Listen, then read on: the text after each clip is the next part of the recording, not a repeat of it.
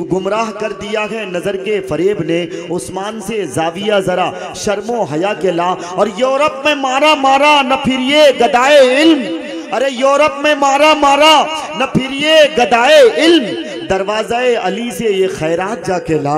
जा ज़िंदगी मदीने से झोंके हवा के ला। शेर आखिर सुनिए कि बातिल से दब रही है ये उम्मत रसूल की। बातिल से दब रही है ये उम्मत रसूल की। मंजर जरा हुसैन से कुछ करबला के ला। मंजर जरा हुसैन से कुछ करबला के ला। जा ज़िंदगी मदीने से झोंके हवा के ला। हज़रत सामीन नाजरीन, हमें अच्छी तरह से मालूम है कि आज का हमारा ये जलसा जामिया दारुल कुरान काबर गोपालपुर झाझा के इस सरजमीन पे एक ऐसे दौर में हो रहा है, हमारा ये जलसा दस्तारबंदी का, जहाँ हर तरफ़ नौ बनो मसाइब आलाम से घिरा हुआ है। लेकिन हमें यह हकीकत नहीं भूलनी चाहिए कि ज़िंदगी बिलखसूस बामकसद ज़िंदगी के लिए दुश्वारियाँ लाजमी हैं। मगर यही मुश्किल व मुआजलात जो दो अमल की कीमत बढ़ाती हैं। किसी ने क्या ही खूब कहा था, चला जाता हूँ, हंसता खेलता, चला जाता हूँ, हंसता खेलता। वादे हवादिस से अगर आसानियाँ हो ज़िंदगी तो दुशवार हो जाए। और नशेमन पर नशेमन इस कदर तामीर करता जा कि बिजली गिरते गिरते आप खुद बेजार हो जाए। कि बिजली गिरते गिरते आप खुद बेजार हो जाए। आइए हज़रत सामीन नाजरीन, अब मैं बेला किसी ताखीर के सदर जलसा, अल्हम्दुलिल्लाह, बहुत रू अफशा तकरीर खतीबुलसर मुफसर कुरान उस्ताद हदीस व फ़िक़ह, जनाब हज़रत मौलाना मोहम्मद खलील अहमद साहब उस्ताद हदीस दारुल सूरत गुजरात, अल्हम्दुलिल्लाह, जिनके चेहरे पर पाकिजगी का नूर भी है, कहकशा का जहूर भी है, मैं बिला किसी ताखीर के, चूँकि बड़ों के शान में ज़्यादा तुकबंदी करना या अल्फाज के माला जपना ऐसे ही है, जैसे आफ्ताब को चिराग दिखाना है, मैं बिला किसी ताखीर के न्यायती अदब के साथ, इन चार मिसरों के साथ हज़रत का इस्तकबाल कि ज़िंदगी फ़ानी है, सजाने की ज़रूरत क्या है? ज़िंदगी फ़ानी है, सजाने की ज़रूरत क्या है? अरे हुस्न दुनिया को दिखाने की ज़रूरत क्या है? ऐसे आमाल करो कि रूह से खुशबू निकले इत्र कपड़ों पे लगाने की ज़रूरत क्या है? ऐसे आमाल करो कि रूह से खुशबू निकले इत्र कपड़ों पे लगाने की ज़रूरत क्या है? सदर जलसा माइक पर हज़रत मौलाना खलील अहमद साहब।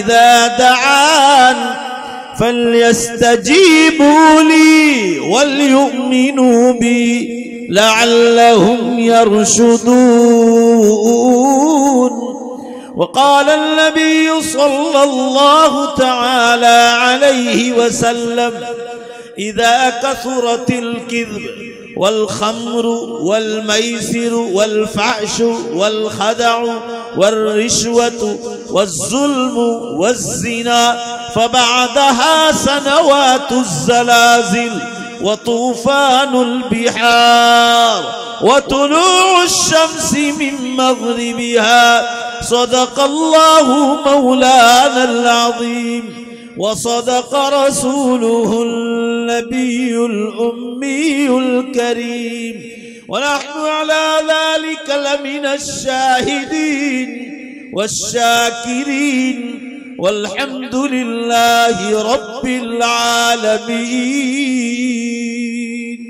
पूरा मजमा, पूरी ताकत के साथ एक बार ज़ोर से दरुज शरीफ पढ़ लो।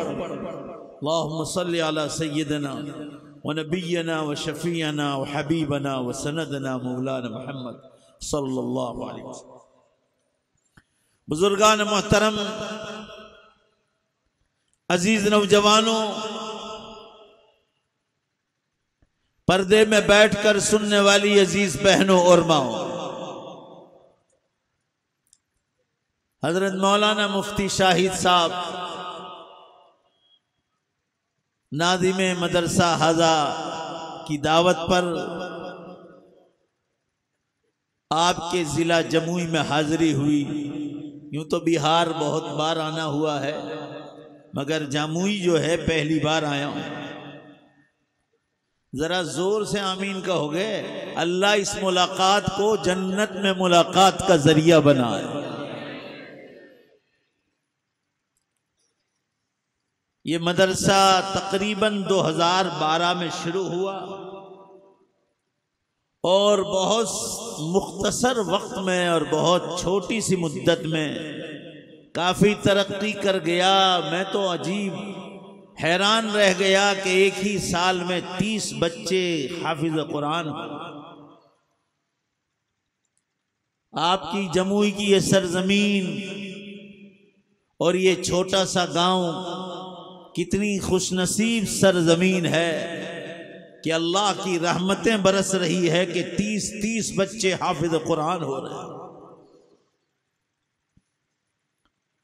इस वक्त जो मैंने आप हजरात के सामने कुरान पाक की चंद आयात करीमा की तिलावत की है और एक हदीस पाक पढ़ी है। इससे पहले के बाद शुरू करें हम सब इन बच्चों को दुआओं से नवाजें। अल्लाह इनको हाफिज कुरान के साथ ज़ोर से आमीन का कहो आलिम बा अमल भी बना अल्लाह इन्हें उम्मत का इमाम बनाए। बुजुर्गान मोहतरम, हम और आप दुनिया में जिस मकसद के लिए आए हैं, वो अल्लाह की जन्नत में जाने की तैयारी के लिए आए हैं। हमारे बाप दादा जो हमारे इलाकों के कब्रस्तानों में सोए हुए हैं, उनको जाके पूछो वो भी हमारी तरह जिंदगियों में सांस ले रहे थे। अल्लाह ने उनकी मुकद्दर में जितनी उम्रें लिखी थी पूरी करके कब्रों में चले गए। मैं जब भी आवाज़ देने को कहूँ तो ज़ोर से आवाज़ दे, मैं आप लोगों का मेहमान हूँ। आप लोगों की ज़रूरी है मेहमान का इकराम करना। जब भी आवाज़ लगाऊँ तो आप ज़ोर ही से जवाब दे दें। आमीन के हैं अल्लाह इन सब की कब्रों को जन्नत के बागीचों का एक बाग बना दे। आमीन। ये दुनिया मुसलमानों फानी है ये खत्म होने वाली। ये हमेशा रहने की जगह नहीं है। यहाँ जन्नत की तैयारी के लिए हमको भेजा है। खेती बाड़ी करना है तो अल्लाह के हुक्म के मुताबिक करना अपनी ज़मीन हो या किराए की ज़मीन हो, किसी का हराम का पानी खेत में चल रहा, उसे अपने खेत में लेने की इजाज़त नहीं है। खेती बाड़ी भी अल्लाह के हुक्म के मुताबिक ही करना है। बिज़नेस और व्यापार भी अल्लाह के हुक्म के मुताबिक करना है।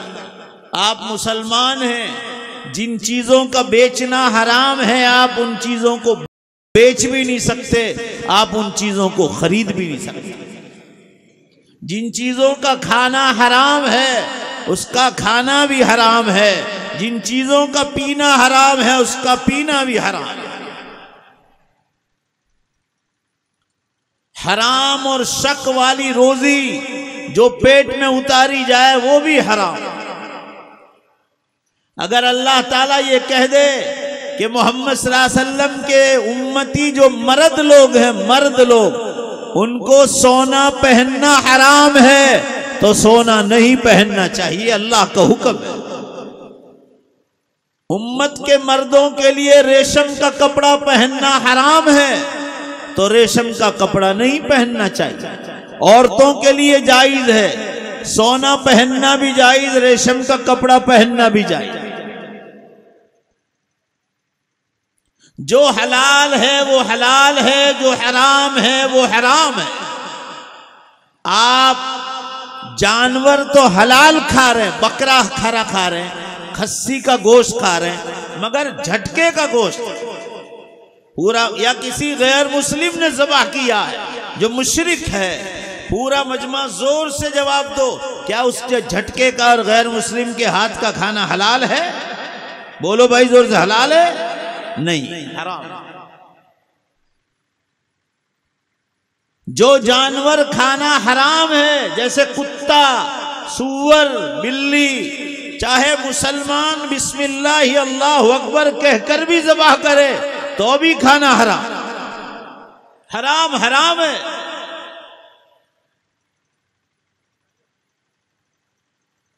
जिन चीज़ों का बेचना हराम, उसका खरीदना भी हराम। आपको अल्लाह ताला ने हुक्म दिया, मुसलमान कुत्ता अपने घर पर बाँध नहीं सकता है, अपने मकान पर हराम हराम है। सही हदीस में आया है, जो मुसलमान होकर अपने मकान पर कुत्ता बांधेगा, अपने मकान पर, फरमाया आसमानों से, अगर कोई मुसलमान कुत्ते को बांधता है अपने मकान पर, रोज़ाना ओहद पहाड़ जो इतना इज़्ज़त वाला मदीने मुनवरा का पहाड़ है, उस पहाड़ के वज़न के बराबर सोना भी अल्लाह के राह में रोज़ाना खर्च करता होगा। कुत्ते बांधने की नहूसत से अल्लाह उसकी नेकी को खत्म कर आप कुत्ता तीन जगह पाल सकते हैं। आपकी जहाँ जानवर बांधते हैं, उस जानवर बांधने की जगह पर आप जानवरों की हिफाजत के लिए कौड़ में आप जहाँ जानवर बांधते हैं अब तबेला है, आपका वहाँ आप कुत्ता बाँध सकते हैं। जानवरों की हिफाजत के लिए। खेत की रखवाली के लिए खेत पर बाँध सकते हैं, खेत पर इजाज़त। और तीसरा हलाल जानवर के शिकार के लिए आप कुत्ता पालें, मगर दूर बांधे। पूरा मजमा ज़ोर से बोलो, मकान पर नहीं, इजाज़त नहीं। हलाल जानवर जैसे हिरन पकड़ने का शौक है आपको, या मोर पकड़ने का? हिरन और मोर दोनों हलाल है, मगर हिंदुस्तान के हुकूमत के कानून के खिलाफ है। राष्ट्रीय पक्षी है और राष्ट्रीय जानवर है ये। लिहाजा उसमें भी हाथ नहीं मारना चाहिए। हलाल तो है, मगर कानून, हुकूमत का कानून लगा है, आपको जेल हो सकती है। और यकीन ना आए तो सलमान खान से एक बार मशवरा कर लेना। उसकी खटिया खड़ी हो गई बेचारे। मैं आपको इशारा समझा रहा हूँ। हलाल हलाल है, हराम हराम। पेशाब इस्तिंजा करने का तरीका बताया। बंद टॉयलेट में भी किबले की तरफ़ ना बैठो, किबले की पीठ भी ना करो। खड़े खड़े पेशाब ना करो। कपड़े भी पाक रखो, बदन भी पाक रखो। हर जुमा को नाखून काटने का हुक्म मूछे कतरवाने का हुक्म। और दाढ़ी बढ़ाने का हुक्म। बदन के बालों की सफ़ाई का हुक्म है। नाजुक बदन के तीन जगह है, बगल के बाल, पेशाब की जगह के बाल, पाखाने की जगह के बाल। ये तीनों जगहों के बाल की सफ़ाई का हुक्म है। अगर 40 दिन तक सफ़ाई नहीं की, सही मुस्लिम की हदीस में वो आदमी बड़े गुना में दाखिल हो जाता। सहाबा फरमाते थे कि आप सल्लल्लाहु अलैहि वसल्लम हर जुमा को बदन के बालों की सफ़ाई फरमाते थे? लिहाजा कम अज कम हर जुमा को कोई न कर सके तो कम अज कम महीने में दो बार तो करना ही चाहिए। और आप चालीस दिन के ऊपर गए तो आप अल्लाह के गुनहगार में शामिल हो जाए। ये अल्लाह का हुक्म है जो आपको सुना रहा हूँ।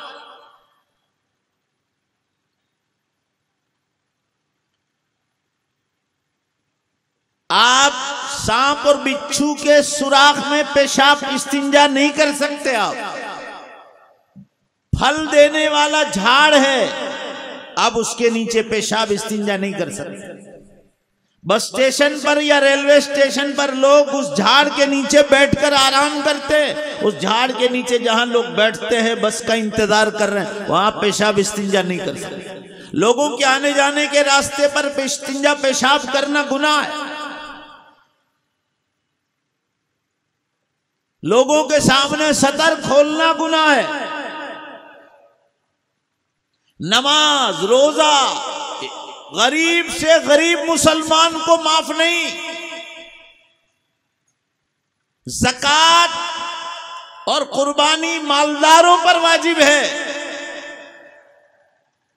आपके पास कम से कम साढ़े बावन तोला चांदी या उसकी कीमत जो इस वक्त बाज़ार में है अगर इतना पैसा आ गया और उस पर साल गुजर गया, वहाँ तक पैसा रहा तो आप पर आप पर जक़ात वाजिब हो जाए और अगर सोने का निसाब पूरा हो जाता है तो अभी एक साल पूरा होने के बाद आप पर जक़ात वाजिब हो जाए निकालनी वाजिब हो जाएगी। कुर्बानी मालदारों पर वाजिब है। बड़े जानवर में सात हिस्सा, छोटे जानवर में एक हिस्सा। हज ज़िंदगी में एक बार फ़र्ज़ है। उमरा सुन्नत है या नफल? अल्लाह के साथ किसी को शरीक न करना। ये पूरे इस्लाम के दरख्त की जड़ है। अगर ये कमज़ोर है तो याद रखना, सारी डालियाँ कमज़ोर होती चली जाए एक अल्लाह पर मज़बूत ईमान रखना, ज़िंदगी पैदा करने वाला वही, ज़िंदगी देने वाला वही, मौत देने वाला वही, बीमारी और तंदुरुस्ती देने वाला वही, पूरा मजमा ज़ोर से बोलो और कयामत के दिन दोबारा जिंदे करने वाला भी जरा ज़ोर से नहीं बोले, दोबारा ज़िंदा करने वाला भी अल्लाह। इस पर तो मज़बूत ईमान होना ज़रूरी है, वरना हमारे और गैर मुस्लिम में फ़र्क क्या रहेगा? दोबारा नहीं अगर तीन बार भी बुलाऊं, ये चारों तरफ़ से आवाज़ आनी चाहिए दूर दूर से। सब मिलकर अपने अल्लाह का नाम बोलो बोलो दोबारा कयामत के दिन ज़िंदा करने वाला कौन? अल्लाह। अल्लाह। बहरहाल, ये चंद इशारात किए मैंने हलालो हराम के सिलसिले में कि ये दुनिया फानी है, ये अल्लाह के हुक्म है, ये पूरे करके जाएँगे तो हमेशा की जन्नत मिलने वाली। फिर उसमें हुकूकुल इबाद, बंदों के हुकूक माँ बाप माँ बाप गैर मुस्लिम है और बच्चा ईमान ले आया तो अभी माँ बाप की खिदमत वाजिब और ज़रूरी है।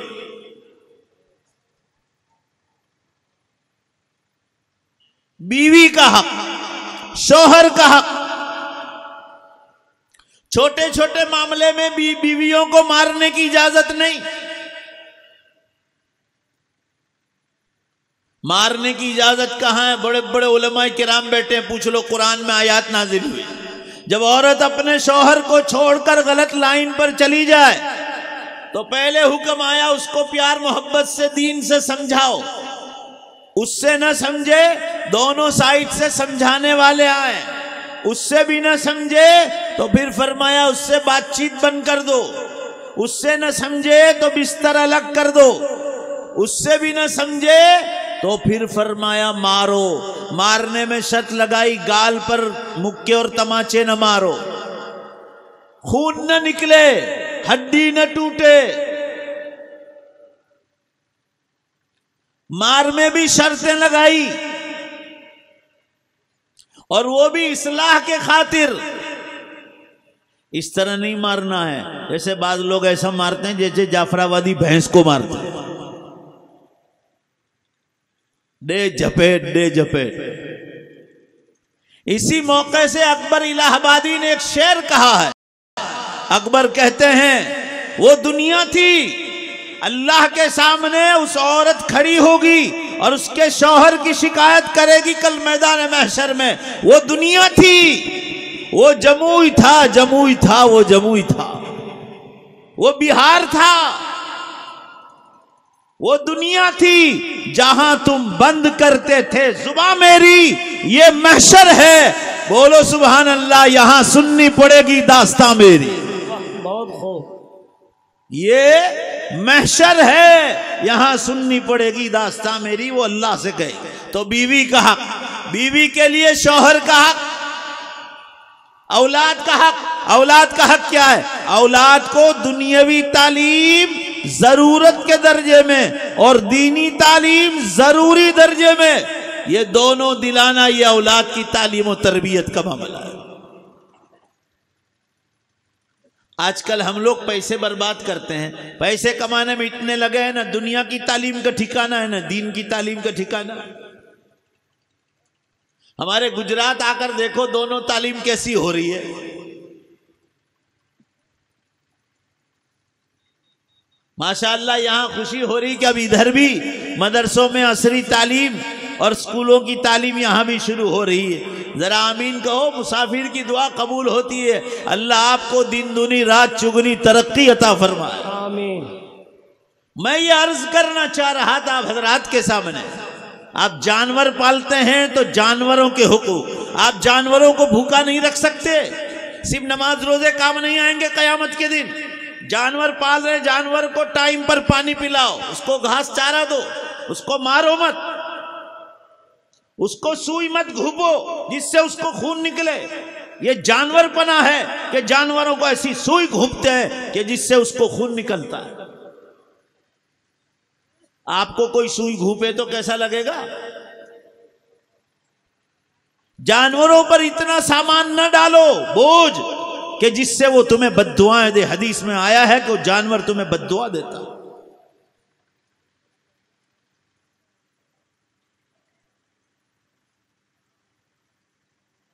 सर्दियों में उनको कपड़े पहनाओ टाट के कपड़े पहनाओ। उनको भी सर्दी लगती है, अल्लाह के आपको इस पर सवाब मिलेगा।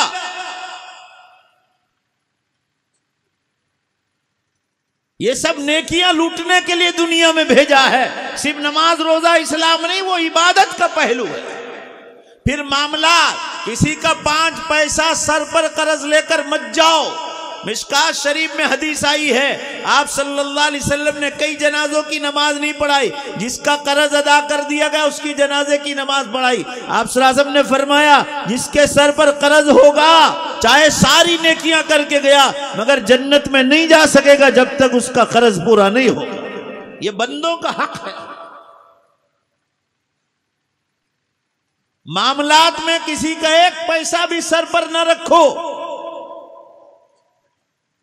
मुआशरत, रहनी सहनी, निकाह, तलाक मामला निकाह सादगी से करो। बेकार के खर्चे करने की ज़रूरत नहीं। लड़की वालों से जहीज मांगना हराम है, हराम। आपको कोई हक नहीं लड़की वालों से पैसा मांगना। आप उनको दे दो, लड़की वाले को दे दो। हमारे गुजरात में अल्हम्दुलिल्लाह एक भी घर में नहीं, पूरे गुजरात की बात कर रहा हूँ, अल्लाह गवाह एक घर में भी कोई जहीज माँगता नहीं लड़की वालों से, एक भी केस नहीं। यूपी देखो, बिहार देखो, झारखंड देखो, जहाँ देखो, लड़की वालों से पैसे मांग रहे गाड़ियाँ मांग रहे बाप दादा रखकर गए थे, तुम्हारे जो लड़की वालों से पैसे मांग रहे हैं उसके बाप के पास तो छप्पन करोड़ की चौथाई हो मेरे और आपके क्या काम का? और अगर डराओगे कि तेरी लड़की नहीं ले जाएँगे, कयामत के दिन आपकी गर्दन पकड़ी जाएगी। अगर इस डर, ये जो डर दोगे आप, कि जहेज दो वरना तेरी लड़की नहीं ले जाएँगे, अल्लाह क्या पकड़ होगी तुम्हारी। पूरे मजमे में से ज़ोर से आवाज़ आनी चाहिए उलमा किराम सी ये हज़रत मेहनत करेंगे और आप इंशाला कहेंगे, कभी किसी से हाथ ऊँचा करो, सब मिलकर के जहीज नहीं मांगे। अरे ऊँचा करो ने भैया। जिनकी शादियाँ हो गई, उन्होंने क्यों हाथ ऊँचा किया? भाई, तुम्हारी भी दूसरी शादी का इरादा है।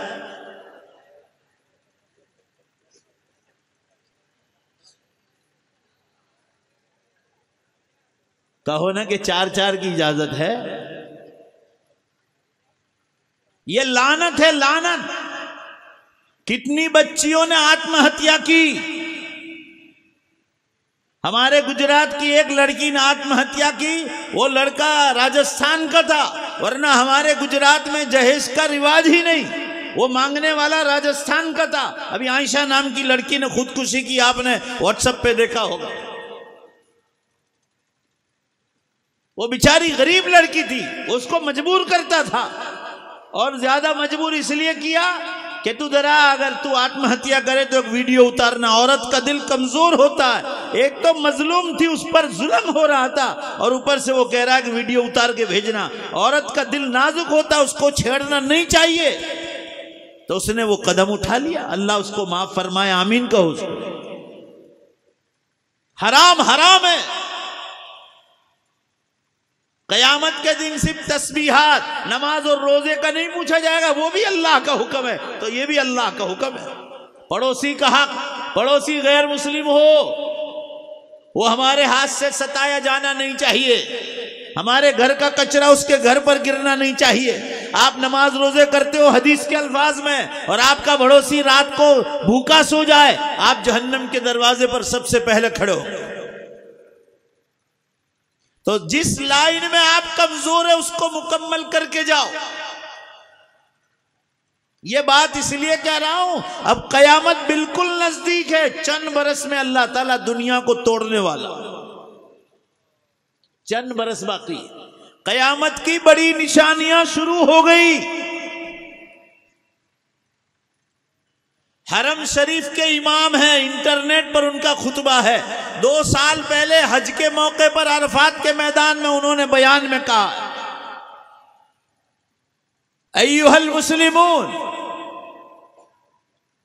कद इख्ततमत असरात अल कुबरा तकरीबन, वल उम्मा गाफिलतुन व नाइमतुन। शेख ने कहा, वल्लाही अल अल्लाह की कसम है उम्मत, कयामत की ज़्यादातर बड़ी निशानियाँ खत्म हो गई और उम्मत गफलत में सो रही मैं आपको खुल्लम खुल्ला निशानियाँ बतला रहा हूँ। आप सल्लल्लाहु अलैहि वसल्लम ने इरशाद फरमाया और आप देखो जो मैं कह रहा हूँ, वो हो रहा है, नहीं हो रहा है? जब दुनिया में झूठ, शराब, जुआ नाच गान धोखाबाजी, लाच और रिश्वत, जुल्म, जीनाकारी आम हो जाएगी गाँव गाँव, शहर शहर। फबादहा उसके बाद जलजले और भूकंप के बरस कयामत तक शुरू हो जाए अभी मैं यहाँ आपके गाँव आ रहा था तो रास्ते में शेखपुर आया, वहाँ तक मेरा मोबाइल चालू था। आज के जलजलों की खबर दे रहा हूँ, आज के ताज़ा। एक सौ अड़सठ मगरिब के बाद हो चुके हैं, एक सौ अड़सठ जलजले पूरी कायनात की बात कर रहा हूँ। रोज़ाना 200 के ऊपर जलजले और भूकंप हो रहे हैं ज़मीन पर। अभी दो तीन महीने पहले हमारा पूरा गुजरात अल्लाह ने हिलाया था। दो महीने पहले अभी दिल्ली में 6.4 का जलजला आया और अखबार में लिखा था, छोटे मोटे बड़े मिलकर 24 घंटे में दिल्ली, हरियाणा, पंजाब, कश्मीर, पाकिस्तान और अफ़गानिस्तान में 1100 झटके हुए। मशीन बतलाए, छह पॉइंट दो का लोग भागम भाग करते हैं। अभी रबी अव्वल में हमारा पूरा गुजरात हिलाया अल्लाह मैं खुद पूरा हिल गया। जोहर बाद सोया हुआ था, आँख खुली और दो मिनट के बाद जलजलाया। मैं उठना चाह रहा था, उठ भी नहीं पा रहा। चार पॉइंट तीन का जलजला। पूरी धरती काँप रही। अभी पंद्रह दिन पहले जापान में हुआ। सात पॉइंट तीन का बेशुमार नुकसान हुआ। तैतीस आदमी मारे गए। इंडोनेशिया में 400 आदमी मारे गए अभी चंद महीनों पहले। पूरी धरती काँप रही। झूठ, शराब, जुआ नाच गान धोखाबाजी, लाच, रिश्वत, जुल्म, जीनाकारी आम हो गई आप सरासम ने फरमाया, शरीफ लोग बदमाश बन जाएँगे, समझ जाना कयामत करीब आ गया। माँ बाप को कत्ल करने की वारदात हर हफ़्ते में एक बार रोज अखबारात में आ रही। माँ बाप को कत्ल कर रहे बीवी काम पर जा रही है किसी ऑफ़िस में। शौहर है घर पर, एक दो बच्चे हैं, उसकी आँख लग गई वहाँ ऑफ़िस के बॉस के साथ। अब वो दोनों शादी के प्रोग्राम बना रहे हैं। शौहर है घर पर, वो उसकी प्रेमिका को कहता है, तू तेरे शौहर से कह दे, तलाक दे। वो कह रहे, मैं तलाक नहीं दूँगा। तलाक नहीं देता है तो प्रेमी और प्रेमिका मिलकर अपने शौहर का, शौहर को कत्ल कर डाला हर हफ़्ते रोज खबरें आ रही, रोज खबरें आ रही।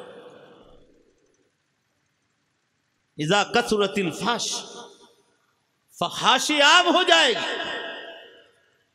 नंगापन तो देखो, आप एयरपोर्ट पर कपड़े पहनने वाली, बाजारों में घूमने वाली, अभी अभी ऐसे फ्रॉक निकले हैं, आगे से यहाँ से देखो आप। मैं आपको कयामत की निशानियाँ बतला रहा हूँ, दलील के साथ। आगे का फ्रॉक पहले यहाँ तक था, जैसे ओलमा ये कुर्ता पहनते ना, फ्रॉक यहाँ तक होता अभी फ्रॉक आगे से यहाँ से आगे। ये पूरा शर्मगाह नज़र आता आपको शर्मगाह पूरी नज़र आती और पीछे का कुर्ता यहाँ तक है। भाई, पीछे का कुर्ता ऊपर रखो, आगे का सतर ढांको। दोनों साइड ढांको। जिन औरतों में अल्लाह ने शर्म होया की चादर रखी थी, वो बेशर्म और बेहया होकर खुल्लम खुल्ला जीना की दावत दे रही भाई, जरा ज़ोर से बोलो ना, हो रहा है, नहीं हो रहा है? मोबाइल का गलत इस्तेमाल होने लगा तो जीनाकारी आम हो गई। तो अल्लाह ताला ने जलजलों की लाइन शुरू कर इंटरनेट पर एक साइड है इंटरनेट पर। हिंदी में लिखोगे ना तो भी मैं मैं अभी देख कर आया। हिंदी में लिखोगे आप, दुनिया के ताजे तर के भूकंप, पूरा रिकॉर्ड निकलेगा कि 24 घंटे में कहाँ कहाँ जलजले हो रहे तारीख और टाइम के साथ कितने पॉइंट का हुआ, वो भी आपको बतला दे ये कयामत के अलाराम बज रहे हैं, जलजले। आप सरासम ने इर्शाद फरमाया, मिशकात शरीफ किताबुल फितन में रिवायात आ रही कि जब फहाशी जीना कारी आम हो जाएगी तो अल्लाह ताला शानु टाइम में से बरकत को उठा लेगा। असनत कशहर वशहर कलुसरू वलुसरू कलियम वलियम कदकीका कमा क़ाल सल्लल्लाहु अलैहि वसल्लम एक बरस एक महीने के बराबर हो जाएगा। महीना हफ़्ते के बराबर। हफ़्ता दिन में दिन, घंटे में घंटा, मिनट में मिनट, सेकंड में बदल जाएगा अरे जमुई वालों पहली बार आया हूँ, मेहमान का इकराम ज़रूरी है, सच्चाई का साथ दो, सच्चाई का साथ। पूरे मजमे में से, जो अगर ज़ोर से बेशक नहीं बोले, दोबारा आऊँगा नहीं आपके इलाके में। अल्लाह की काग में काग मिलाने को कह रहा हूँ। पूरा मजमा बोलो, बेशक टाइम में से अल्लाह ने बरकत उठा ली, नहीं उठा ली? उठा ली अल्लाह। अभी लॉकडाउन शुरू हुआ था, देखो लग रहा है जैसे एक महीने की तरह आया। आज जुमेरात है, आइंदा जुमेरात को याद करना ऐसा लगेगा, एक दिन की तरह जुमेरात आ गई। टाइम में से अल्लाह ताला ने बरकत उतारी और घुसता जा रहा, और घुसता जा रहा।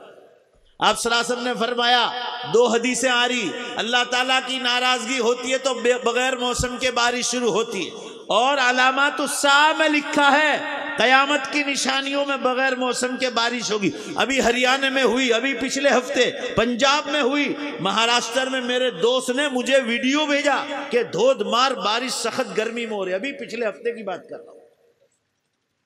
बगैर मौसम की बारिश, अल्लाह की नाराज़गी का सबब जब ज़मीन पर गुना बढ़ जाए। अल्लाह के बंदो जागो, कयामत बहुत करीब आ गई और यकीन ना आए तो सबसे आसान रास्ता बतला रहा हूँ। अल्लाह ताला ने हर मोमिन को यह कहा है कि मुझसे कोई चीज़ पूछनी हो, अल्लाह तो डायरेक्ट अल्लाह तुम्हें बतलाएगा। दो रकात नफल नमाज़ पढ़नी है, दो रकात। रात को ईशा के बाद वज़ू के साथ। आखिरी काम यह होना चाहिए। और उसके बाद वो दुआ पढ़ के सो जाओ। इस्तिखारे की दुआ किताबों में लिखी बेचती जेवर में भी है।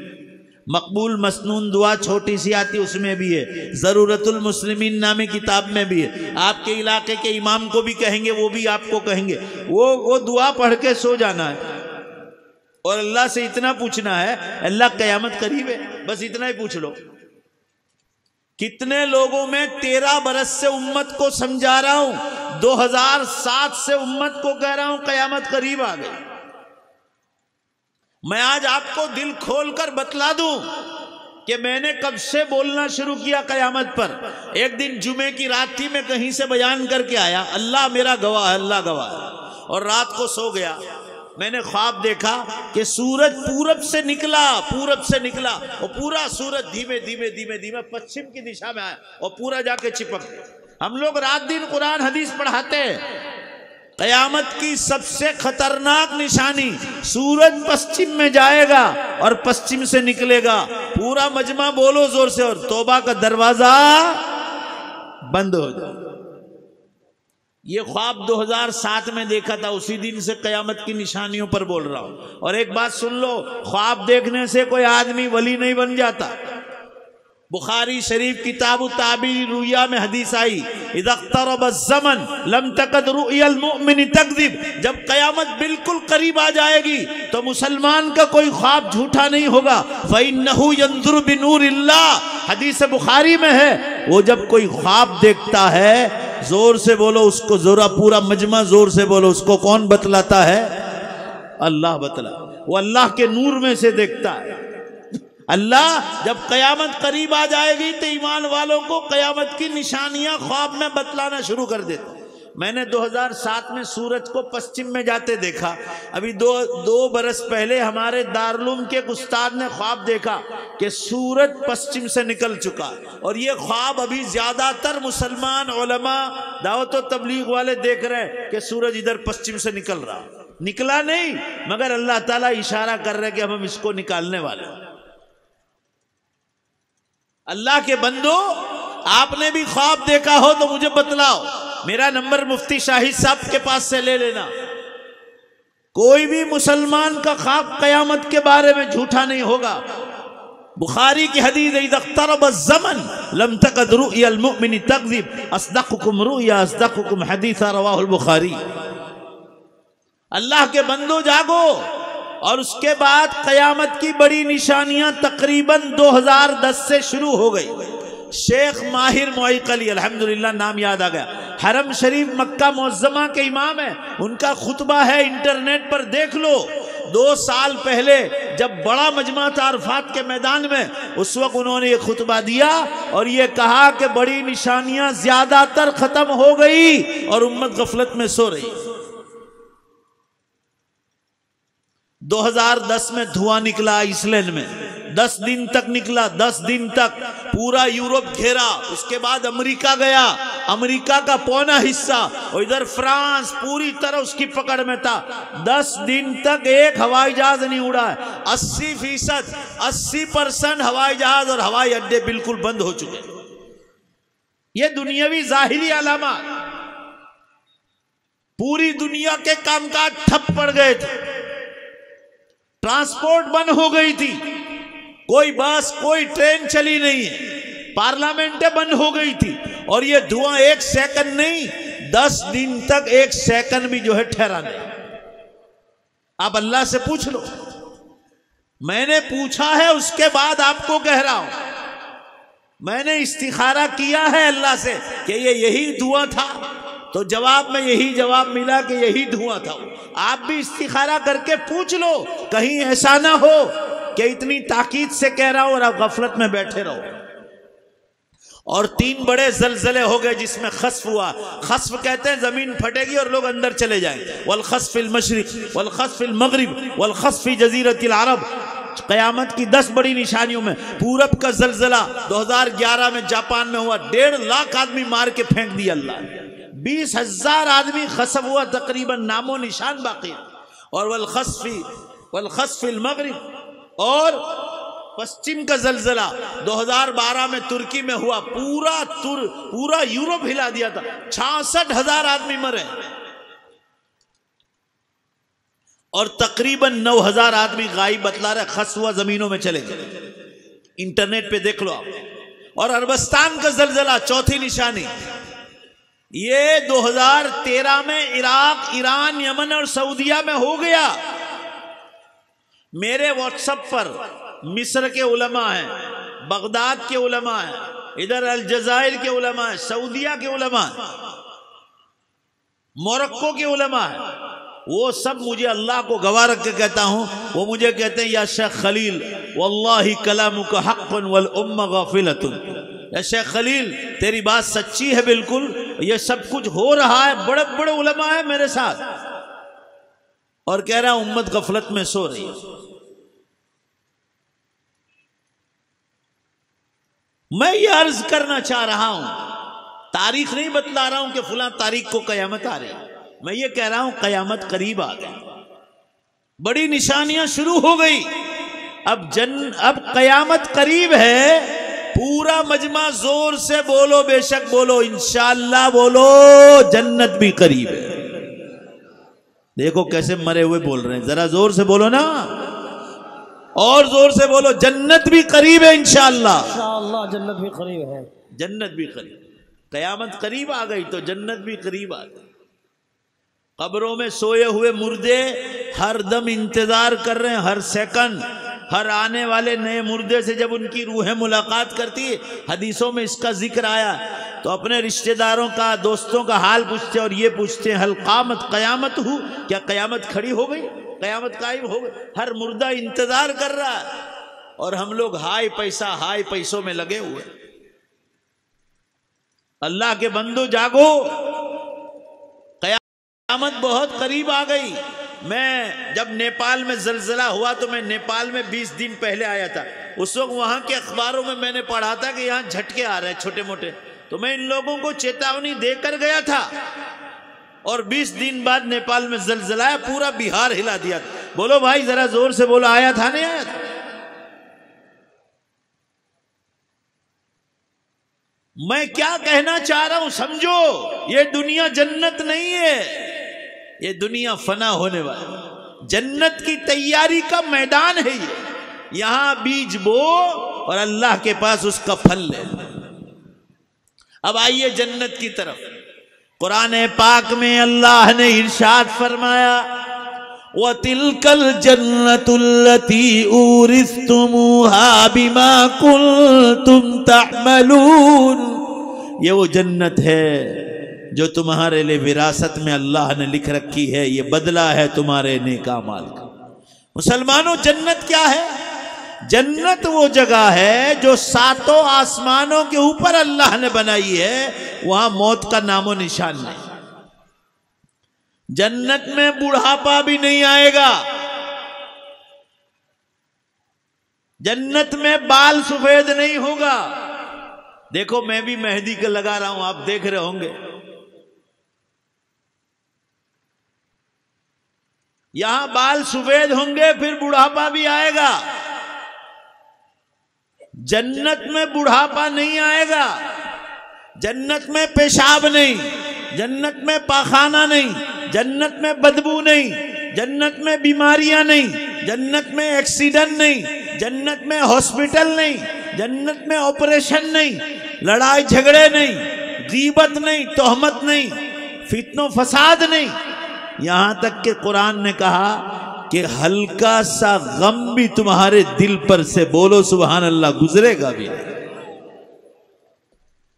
जो होगा वो अल्लाह ताला इसको पाक करके आपको जन्नत में दे अब वो जन्नत बहुत करीब है, बहुत करीब है। जन्नत के बागीचों का क्या पूछना? जन्नत के महल, एक ईंट सोने की, एक ईंट चांदी की, और बीच में मुश्क की खुशबू का घाड़ा होगा, मुश्क। मुश्क दुनिया में हिरन के पेट में से कस्तूरी निकलती। लाखों रुपए का तोला मिलता असली।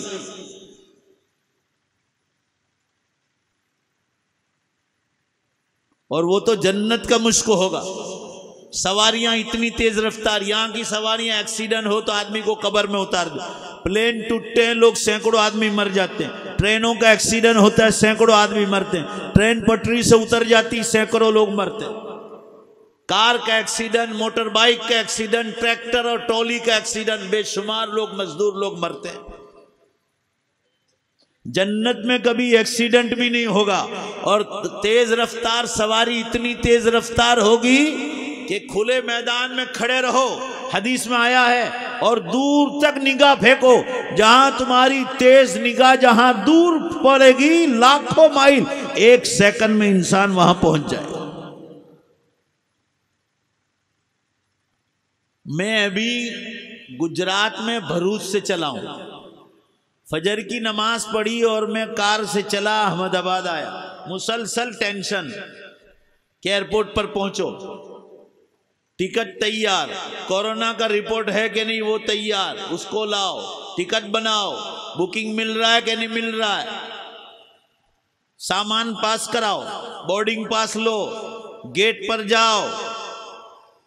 दुनिया भर की मुसीबतें। और फिर यहाँ आओ। और वहाँ से पटना से फिर यहाँ आओ। पाँच छह घंटे का सफ़र करके। बहुत थका देने वाला सफ़र इंसान के लिए। मगर अल्लाह के दीन के लिए हम सफ़र करते हैं। मैं भी गुजरात से आया हूँ हमारे मौलाना अरशद मीर साहब भी आए और भी ओलमाए किराम कहाँ कहाँ से तशरीफ़ लाए सब बेचारे थके हारे यहाँ आते हैं आप लोगों को अल्लाह का दीन पहुँचाने। कोई पैसा कमाने तो आते नहीं रोटी तो हमारे यहाँ भी मिल जाती है। मैं इस नीयत से तकलीफ़ उठाते हैं कि अल्लाह किसी को हिदायत देगा। बोलो बेशक तो हमारी कब्र में भी नूर फैल जाएगा इंशाअल्लाह इस नीयत से आते हैं।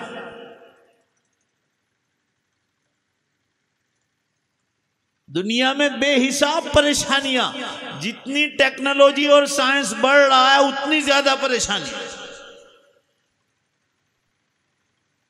पूरा मजमा ज़ोर से बोलो।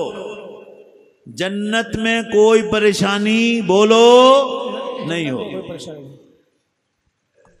कोई परेशानी। दिल में ख्याल आएगा कि उसी वक्त हाजिर हो जाएगा। अरे सुनाऊं मैं एक हदीस, इब्ने कसीर रहमतुल्लाह ने नकल की। एक बार आप सल्लल्लाहु अलैहि वसल्लम साहबा के साथ तशरीफ़ फरमा। अबू बकर सिद्दीक, उमर फारूक, उस्मान गनी, अली मुर्तदा रिजवानुल्लाह अलैहि वजमईन सामने बैठे हुए। हज़रत अली करमल्ला, जो आपके चचाजाद भाई और आपके दामाद भी और जवाई भी होते हैं और आपके सहाबी भी। फरमाए, अली मैं जन्नत का तस्करा हर वक्त करता रहूँगा। मौका ब मौका। मगर ए अली, मुझे एक बात याद आ गई वही की। ए अली, मैं जन्नत को देख कर आया हूँ महराज के मौके पर। ए बिहार के मुसलमानों, ध्यान से सुनो। फरमाया, ए अली, जन्नत में एक झाड़ है, एक झाड़। उसका नाम है तूबा। तूबा कहते खुशखबरी को। फरमाया बियदिल करामा अल्लाह ने उसको अपने मुबारक हाथ से उसको लगाया है। बोलो इंशाल्लाह बोलो पहले इनशाला हर मोमिन के लिए लगाया अल्लाह भैया ज़ोर से बोलो ना बिहारी बाबू। इंशाअल्लाह हर मोमिन के लिए लगाया उसका नाम है तूबा। आप सरासम फरमा रहे हैं उसकी डालियाँ कहाँ तक फैली हुई है? उसकी लंबाई, चौड़ाई का मैं ज़िक्र नहीं करता। मगर फरमाए अली, उसके नीचे का जो हिस्सा है, जैसे ये झाड़ है समझो, ये झाड़ यूँ फैला हुआ है बस नीचे के हिस्सा ये उसको थड़ बोलते हैं। हमारे यहाँ उर्दू में तना बोलते हैं, ये नीचे का हिस्सा। फरमाए अली, ये नीचे के हिस्से का ज़िक्र करता हूँ। तेरे पास ये पाँच बरस का जवान ऊँट है। उसके चारों तरफ़ दौड़ाना शुरू कर दे। इतना दौड़ा इतना दौड़ा कि एक सेकंड के लिए कहीं खड़ा न रहे। फरमाए, दौड़ता रहे दौड़ता रहे। आप सरासम ने फरमाया ये अली, ये पाँच बरस का जवान ऊँट बूढ़ा हो जाए, ये मर जाए। अल्लाह इसको दोबारा ज़िंदा कर दे, तब भी अल्लाह की कसम उसका एक चक्कर काट नहीं सकता। आप सोच लो, एक दरख्त का, एक झाड़ का ये हाल है। तो वहाँ के मकानों का हाल क्या होगा? उसकी डालियों का क्या हाल होगा? उसकी सड़कों का क्या पूछना? उसके बागीचों का क्या पूछना? बदन में राय के दाने बराबर कोई बीमारी नहीं होगी, जर्रे के बराबर। उस जन्नत की तैयारी के लिए दुनिया में यहाँ भेजा है। उसके लिए ज़रूरत है कि जो नमाज़ रोज़े नहीं करते, वो नमाज़ रोज़े पर आ जाए। जो जक़ात और हज जिन पर वाजिब और फ़र्ज़ है, वो जल्दी से उसको पूरा कर ले। और जो लोग इबादत में मज़बूत है, मगर मामलात में कमज़ोर है, वो मामलात पक्का कर ले। रहन सहन हमारा ठीक नहीं है तो रहन सहन ठीक कर ले। लिबास हमारा अल्लाह वालों जैसा होना चाहिए। चेहरा हमारा नबी सलासम की सुन्नत के मुताबिक होना चाहिए। और देख लो बिहारी मुसलमानों, ये दाढ़ी की सुन्नत अल्लाह का ऐसा हुक्म है। सुन लो, मर जाओगे, कयामत बहुत करीब आ गई। ये कबर में इसको साथ लेकर जाओ। आज ही से नियत कर लो। ये ऐसा गुना है, दाढ़ी कटवाना और शेव करना, कि नमाज़ भी पढ़ोगे तो ये गुना तुम्हारा साथ रहेगा। टॉयलेट बाथरूम में जाओगे तो भी ये गुना साथ रहेगा। किसी से बातचीत करोगे तो भी ये गुना साथ रहेगा। जनाजे में जाओगे तो भी साथ, शादी की खुशी में जाओ तो भी साथ। हर वक्त ये तुम्हारा गुना साथ रहेगा। चलो, हाथ ऊँचा करो। ये रमज़ान मुबारक आ रहा है। कोई भी मुसलमान बाकी बचना नहीं चाहिए। यहाँ से नीयत करके जाओ। मुझे आप रोटी नहीं खिलाओगे, चलेगा। मगर आज नीयत करके जाओ। सब हाथ ऊँचा करो। एक भी मुसलमान हाथ बाकी न रहे, सिर्फ़ नीयत करने को कह रहा हूँ कि इंशाल्लाह ये रमज़ान मुबारक से जल्दी से हाथ ऊँचा करो, जल्दी से। इंशाल्लाह बोलो, एक भी बचे बोलो दाढ़ी की सुन्नत। बोलो, इंशाल्लाह ज़िंदा करेंगे। अल्लाह आपको अता फरमा। ज़ोर से इंशाल्लाह, पक्का वादा है ना? बोलो ना इंशाल्लाह। इंशाल्लाह, अल्लाह अता फरमा। मैं क्या आपको अर्ज़ करना चाह रहा हूँ? मामलात कच्चे हैं तो मामलात पक्के कर बंदों के हुकूक मज़बूत नहीं तो बंदों के हुकूक मज़बूत करो जानवरों के हुकूक मज़बूत नहीं तो जानवरों के हुकूक मज़बूत करो। आपको जुआ खेलने की आदत है, शराब पीने की आदत है, शराब बेचने की आदत है। सूदी कारोबार, बैंक का इंटरेस्ट की आदत है, या सूद और ब्याज पर आप पैसे देते हैं या लेते हैं, उसकी आदत है आपको। ये बहुत बड़ा गुना आप उसको छोड़ दो। जीनाकारी करने की आदत है जैसा कि आजकल रिवाज पड़ गया। जरा ज़ोर से आमीन को अल्लाह जीना के ख्याल से भी बचा है बहरहाल मुसलमानों, जन्नत भी बहुत करीब है, इसलिए कि कयामत करीब है। और अब हमारे सामने रमज़ान मुबारक भी करीब है। अल्लाह ने फरमाया, शहरु रमज़ान शहरु रमज़ान कुरान ये वो मुबारक महीना है, जिसमें अल्लाह ने कुरान उतारना शुरू किया। हुदल्लिन्नास ये लोगों के लिए, हिदायत के लिए उतारा है कुरान। कि मुसलमानों, तुम इस कुरान को लेकर गैर मुस्लिमों तक पहुंचाओ। ये लोगों को लिए हिदायत का रास्ता है। इसमें सच क्या है, झूठ क्या है, हलाल क्या है, हराम क्या है, हक क्या है, गलत क्या है, सबको खोल खोल कर बयान किया। ये आखिरी बात है सुन लो आखिरी बात और भी उलमा बैठे हैं उनको भी सुनना है फरमाया जिसको चाँद की खबर मिल जाए शरीयत के हिसाब से या खुद देख ले अगर वो अकलमन है पागल नहीं बालिग हो गया नाबालिग नहीं मुसाफिर नहीं है या सख्त बीमार नहीं औरत पीरियड में भी नहीं और बच्चे को पैदा भी नहीं किया है, अभी कोई बच्चा पैदा नहीं हुआ। अगर इनमें से कोई भी उजर नहीं है तो उस पर रोजा फ़र्ज़ है, माफ़ नहीं ज़ोर से बोलो भाई, रोजा फ़र्ज़ आज हम लोग छोटे छोटे बहानों से रोज़े छोड़ दे। हमारे गुजरात में आओ, माशाल्लाह। पाँच परसेंट लोग ऐसे होंगे जो शायद रोज़ा नहीं रखते होंगे, शुगर या प्रेशर की बीमारी के बहाने से। वरना अक्सर लोग रोज़ा रखते और औरतें तो सौ फ़ीसद रखती, माशाल्लाह। अल्लाह आपको भी तोहफी यहाँ भी, माशाल्लाह, माहौल है, मैंने पूछ लिया। मगर और ज़्यादा बढ़ाओ इसको, जो रोजा नहीं रखते, उनको अभी से जहन बनाओ। पंद्रह तेरह बारह, चौदह दिन बाकी है। मस्जिद में फजाइल अमाल शुरू करो तो फजाइल अमाल हो या कोई और दीनी किताब हो फजाइल रमज़ान अभी से शुरू करो मस्जिदों में। घरों में तालीम में अभी से शुरू करो। उलमाए किराम से कहता हूँ, अभी से बयानों में रमज़ान मुबारक की तैयारी करो। हमको यहाँ से गुजरात जाना हो तो हम पहले से तैयारी करते हैं। टिकट बुक कराते हैं, पैसे रखते हैं। ट्रेन में बैठो, प्लेन में बैठो क्या क्या तैयारियाँ करते हैं। रमज़ान आता है और उस वक्त बयान शुरू होता है। ये बिल्कुल गलत बात है। पहले से बयान शुरू करो। लोगों को कहना शुरू करो, जो आपके दोस्त अहबाब रोज़े नहीं रखते, उनको तरगीब दिलाओ, शौक दिलाओ कि रोजा अल्लाह का हुक्म है। इस महीने में जो माफ़ी नहीं होगी तो किसी और महीने में माफ़ी नहीं होगी, सही हदीस में आता। रोजा माफ़ नहीं है। चंद दिन के रोजा रखना। यहूदी और ईसाइयों पर चार चार महीने के रोज़े अल्लाह ने फ़र्ज़ किए थे। उन पर अल्लाह ने गुस्सा उतारा नाफरमानी की वजह से और हमको चंद ही दिन या उनतीस या तीस रोज़े रखने बड़ा मुबारक महीना।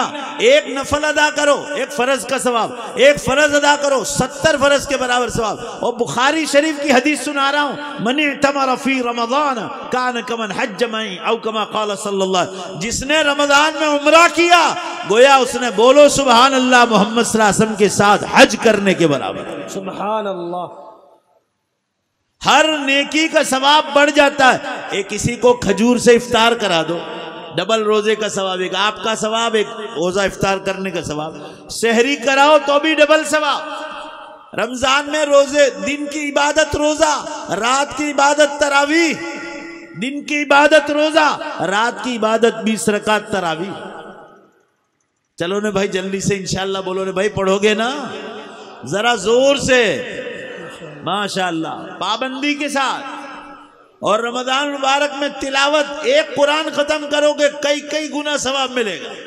सुबह अल्लाह अल्लाह अकबर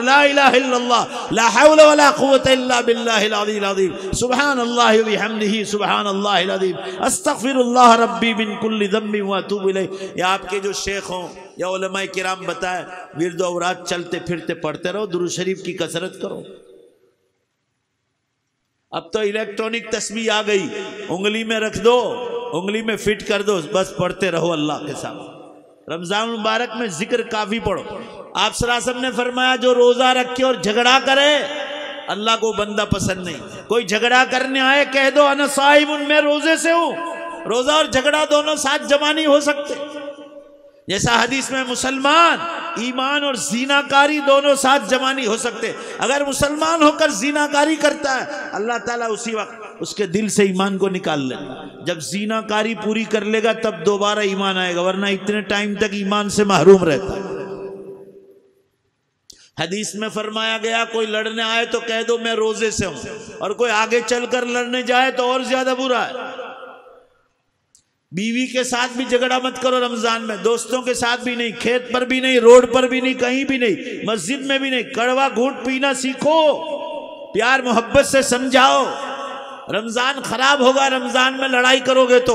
वो आदमी अल्लाह की नज़र से गिर जाता है जो रमज़ान में झगड़ा करता बुखारी शरीफ की हदीस में है, सही हदीस में सुन लो और ये बात दूसरों तक पहुंचाओ। रमज़ान में दो मुसलमान के झगड़ा करने की वजह से अल्लाह ने शब कदर उठा ली।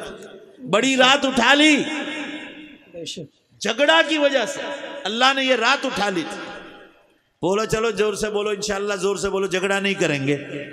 जरा ज़ोर से। हाँ अल्लाह आपको तोफीक अता फरमा और रमज़ान मुबारक में एक रात है। शबे बारात जो अभी गई पंद्रहवीं शबे बारात उसका ज़िक्र कुरान पाक में कहीं नहीं। हदीस सही हदीस में भी नहीं। कमज़ोर हदीसों में है। एक और दूसरा बताऊँ, चलो, हमारे उलमा अच्छे हैं। कि आपको इबादत की इजाज़त देते हैं? और दलील ये पेश करते हैं, हर जमाने में, उम्मत में, इसमें इबादत का अमल रहा है, लिहाजा तुम भी कर लो। तो ये भी एक हुज्जत और दलील है। मगर सबे कदर जो बड़ी रात रमज़ान में आ रही, उसका ज़िक्र तो कुरान पाक में कई जगह, इन्ना फ़ी लतिम मुबारक। कई जगहों पर आया। और सैकड़ों सही हदीसों में ज़िक्र आया। ये रात अल्लाह ताला फिक्स करने वाले थे, मगर दो मुसलमान के झगड़ा करने की वजह से रात उठा ली अल्लाह और रात का सवाब कुरान पाक में लिखा है, लैलतुल कदरी खैरुम अल्फी शहर। हज़ार महीना इबादत करो, कुरान में लिखा हज़ार महीना इबादत करो, उससे भी ज़्यादा बेहतर है। और बेहतर भी अल्लाह का बेहतर तो कितना बड़ा बेहतर होगा? कितना खूबसूरत होगा। हज़ार महीने का टोटल लगाओ बिहार के मुसलमानों। एक हज़ार महीने का टोटल तेरासी बरस और चार महीने। ज़ोर से बोलो, तेरासी बरस और एक बरस में ये रात अगर किसी को मिल गई तो तेरासी बरस और चार महीने खड़े खड़े इबादत का सवाब मिल।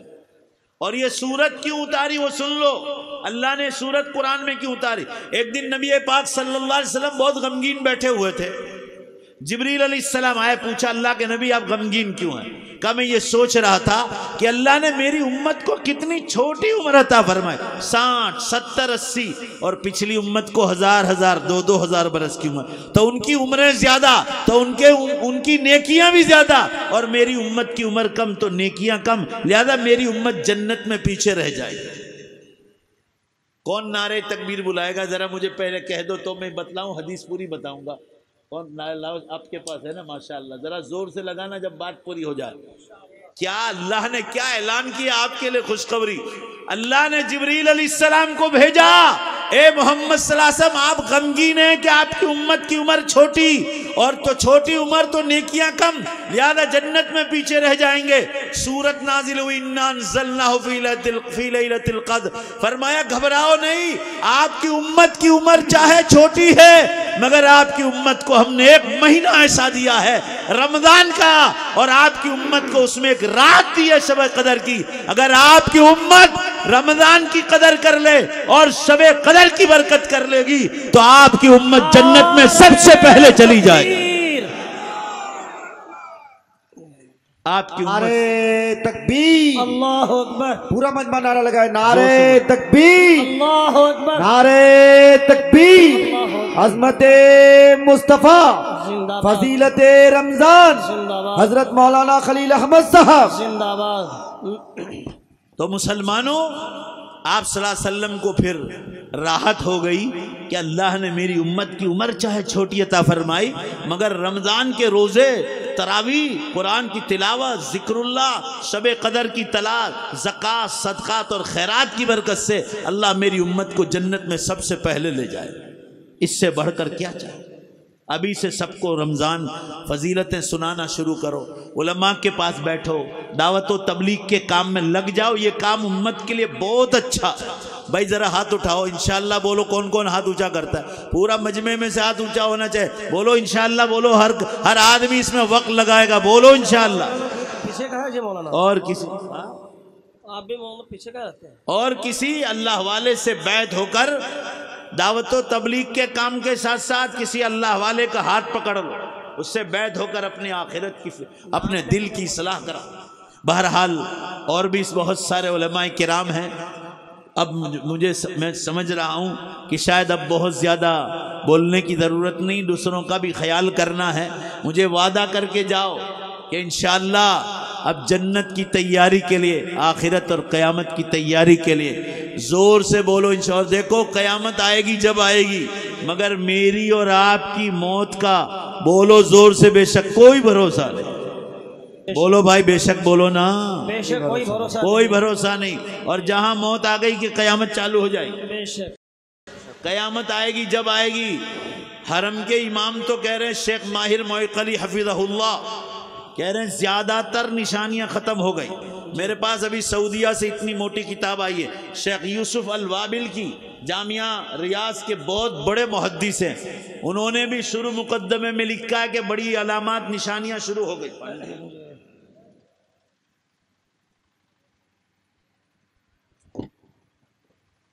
इधर साइंस वाले बार बार ऐलान कर रहे साइंस वालों ने कान पकड़ लिए।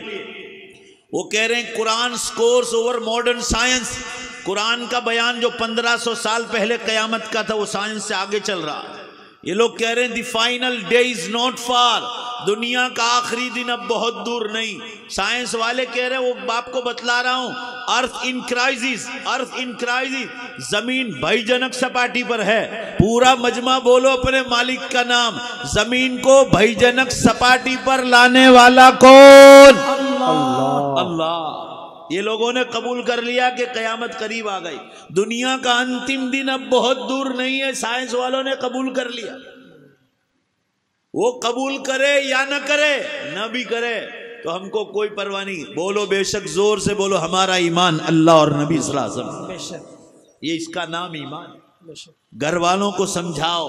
साफ़ सुथरे रहो। रमज़ान मुबारक में पाँचों वक्त दांतों की सफ़ाई करो। शहरी करने के बाद, इफ्तारी करने के बाद दांतों की सफ़ाई, ज़ुबान की सफ़ाई, बदन के बालों की सफ़ाई, कपड़ों की सफ़ाई। कपड़ों पर अस्त्री नहीं करोगे, चलेगा, मगर साफ़ सुथरे रहो।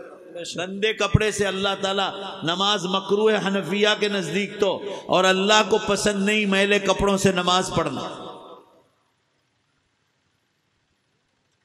और कोई भी गुना रमज़ान मुबारक में रमज़ान के बाद उलमा ने लिखा है कि रमज़ान के बाद मस्जिदें वैरान क्यों हो जाती है? तो उलमा ने लिखा है हम लोग सुन्नतों की पाबंदी नहीं करते। फराइज नमाजों में पहली सफ में पाबंदी करनी चाहिए कि रमज़ान में मैं पहली सफ में ही नमाज़ पढ़ूँगा भाई पढ़ोगे इंशाल्लाह? इंशाअल्लाह इमाम की तकबीर तहरीमा के साथ पढ़े। हम नहीं पढ़ते इसलिए रमज़ान के बाद मस्जिदें वैरान हो जाती। लड़ाई झगड़े कर लेते हैं। खाना बैठकर खाओ। दुआएँ पढ़कर खाओ, पीना बैठकर पियो। दुआएँ पढ़ो, सोने की दुआ, सोकर उठने की दुआ। हर चीज़ सुन्नत के मुताबिक करोगे तो इंशाल्लाह। रमज़ान के बाद उसकी नूरानियत देखोगे। हम लोग रमज़ान हमारा कच्चा रहता है तो रमज़ान के बाद साल भी कच्चा रहता है। रमज़ान थर्मोमीटर है ये मज़बूत रहेगा तो रमज़ान के बाद भी इंशाल्लाह उसकी रूहानियत और नूरानियत देखोगे। अल्लाह ताला शान हूँ मेरे और आपके इस बैठने को कबूल फरमाए। वादा करके जाओ आखिरी बात वादा करके जाओ कि इंशाल्लाह आखिरत की कयामत की और जन्नत की अपनी मौत से पहले पहले ज़ोर से बोलो इंशाल्लाह जोरदार तैयारी करेंगे। तैयारी करेंगे। वाखिर दावाना अनिल हम्दुलिल्लाहि रब्बिल आलमीन।